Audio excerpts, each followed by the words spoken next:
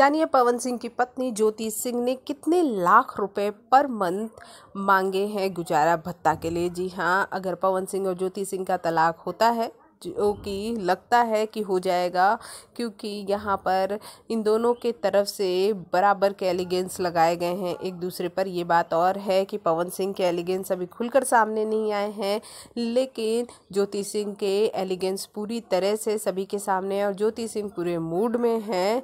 पवन सिंह से तलाक लेने की। लेकिन वो बात और है कि सोशल मीडिया साइट पर अभी तक आप देखेंगे तो ज्योति सिंह, पवन सिंह के के नाम को ही यूज़ करती हैं, मिसेस पवन सिंह ही लिखती हैं। खैर, उस मुद्दे पर बाद में आएँगे, लेकिन जो लोग ये जानना चाहते हैं कि गुजारा भत्ते के तौर पर हर महीने पवन सिंह को, ज्योति सिंह को कितना देना पड़ेगा तो आपको जानकर हैरानी होगी कि तीन लाख रुपये मांगे हैं पर मंथ। ज्योति सिंह ने यानी कि साल के तकरीबन 36 लाख रुपए मांगे गए हैं ज्योति सिंह के तरफ़ से, पवन सिंह से।